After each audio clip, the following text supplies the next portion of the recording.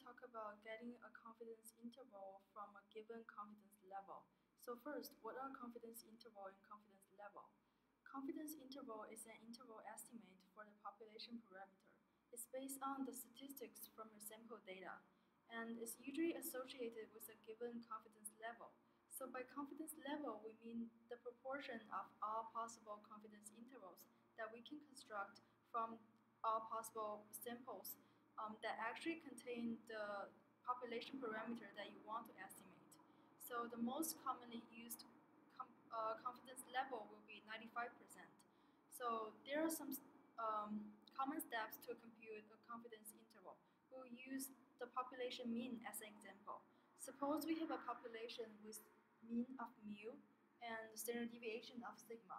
So here we're not assuming that we're not assuming that the population follows a normal distribution. So if we take a sample of size n and compute the sample mean x bar, we know that by central limit theorem, if n is large enough, then this x bar will follow a normal distribution with center at mu and a standard deviation of sigma over square root of n. So if we draw a normal distribution plot, um, the center here will be mu and the standard deviation should be sigma over square root of n. And now we want to construct a confidence interval based on this x bar so that um, we can estimate, um, we can get an interval, interval estimate for the population parameter mu. So because x bar is centered at mu, um, it makes sense to construct your interval symmetric, um, symmetric with respect to x bar. So if your x bar is a value here, then you want to expand it in both ways so that this interval will contain your population mean.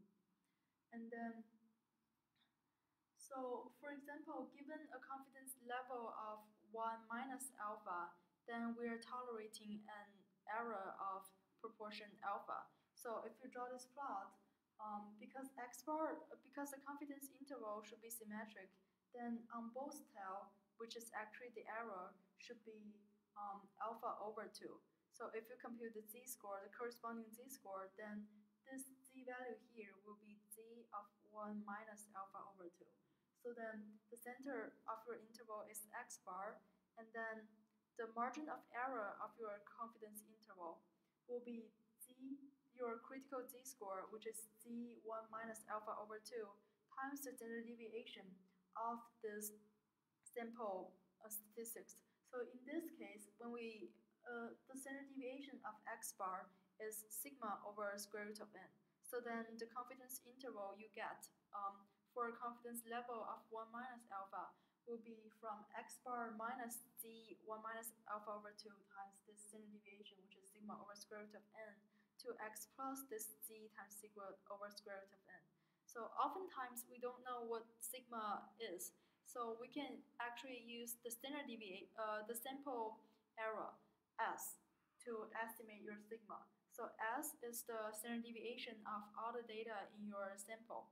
Uh, as, as we know, it's an unbiased estimator for sigma, so that's why we can replace sigma with S. Mm. So in this case, if we want to uh, use a confidence level of 95%, then we're allowing an error of alpha equals 5%. So then on each tail, this alpha over 2 will be um, 2.5%. And then the z value here, the critical z score here, for 2.5% is 1.96.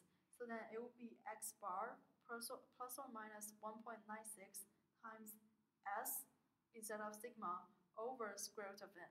So we can see that um, if nothing else changes but you increase your sample size n, then the margin of error, which is uh, actually uh, one half of the length of your confidence interval, will be smaller because n increases and n is in the denominator.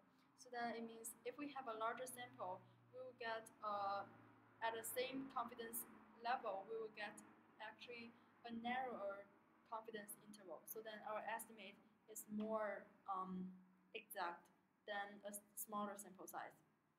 And this is just an example for um, estimating population mean. You can also do the same thing to estimating population um, proportion. So in that case, your x bar will be your sample proportion. So here you always use an unbiased estimator for the population parameter that you are interested in.